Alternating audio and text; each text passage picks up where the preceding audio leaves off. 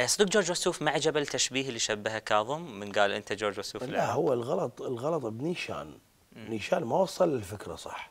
شلون الموضوع صار؟ ما وصل الفكرة صح لأن أنت تقول له مطرب عراقي وما شنو يعني استهزاء هذا الموضوع. هذا ما يصير. هذا غلط. أنا عندي مدرسة بالعراق وعندي عندي عندي عندي سويت جيل يقلدني. مم. أنت لازم تقول له هذا فنان كبير يعني الفنان كاظم الساهر أشاد بهذا الفنان هو مو استصغارا بيك هو بالعكس هو هذا الفنان كبير ببلده بس مو مو ما, ما تعرفه أنت طبعا الموضوع يم نيشان نيشان هو اللي أثار الموضوع أثار الموضوع غلط. بطريقة آه، سلبية مم. للأسف طبعا مم.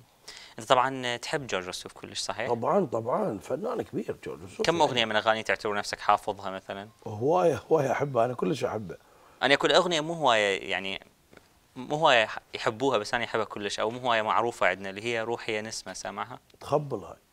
يلا خلينا نشوف شلون تخبل سمعنا مقطع منها. آه أنا حافظ هذا الألبوم كله حافظه يعني بس تقريبا يعني بس البدايات لأن